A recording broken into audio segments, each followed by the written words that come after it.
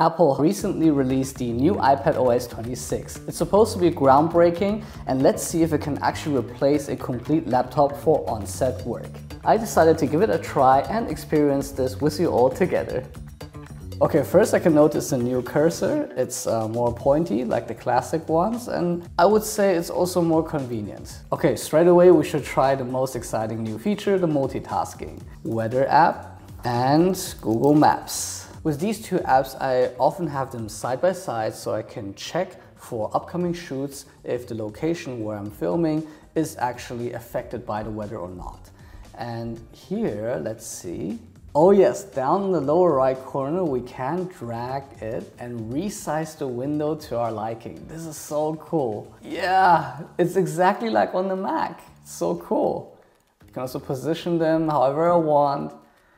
Okay, let's try to do 50-50 left and right. So if I flick this to the right and select the next one and flick it to the left, we should have a 50-50 split screen view. This is so cool. I can also decide how much real estate each app should take up on the screen.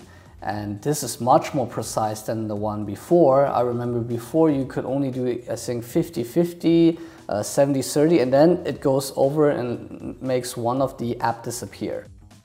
Oh yes, on top we also can access all the detailed menus like how you're usually uh, familiar with on the Mac. On the upper left, I see the classic three buttons, maximize, minimize, and uh, close application. And when we right click on that one, yeah, we can also do the um, specific arrangements of these windows. Yeah, to be honest with this view, it's so easy to switch between the apps. Oh, and let's try something. So if I hit here minimize and then reopen the app, yes, it stays exactly where we left off. So this is also identical to, to working on a Mac.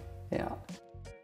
As a filmmaker on the road, trying to take the laptop out of an already fully packed backpack can be quite annoying. Able to not use a heavy bulky computer, instead using an iPad with the new Files app to transfer footage on site is very important to me. Files, this also apparently has some updates. We have much more additional information in the list view we can even add more if we want. This is really nice and helpful. And also you can just use this to peek a little bit into the folders without having to really go into them.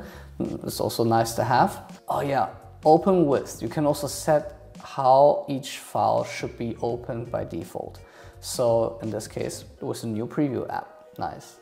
And if I remember correctly, oh yes, you can finally select multiple files and before you would have to do select and then tick box and then copy over. This is just like on the computer. With the shift key, you can select multiple ones.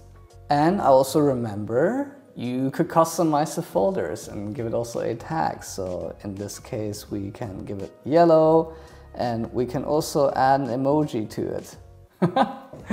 very nice, very nice. Okay, then the preview app. Here it's similar to the computer. Now you can finally also quickly adjust certain files like screenshots, etc. Uh, so here I could rotate, for example, or highlight something important. This is great to have.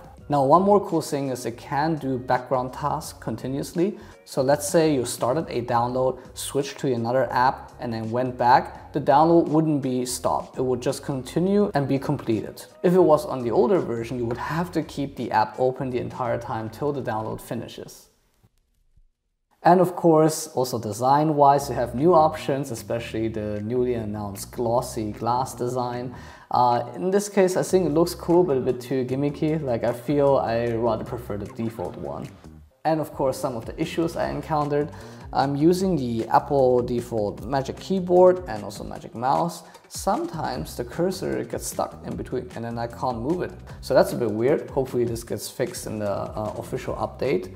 Then another thing I noticed is I wanted to just simply scroll with the mouse, but it doesn't work. You still have to somehow use your finger here on the iPad to do that. So that's a bit counterintuitive. One more awesome thing I discovered when using Adobe Rush editing software, I can have this entire screen for the timeline because the uh, live video feed is displayed on the external monitor.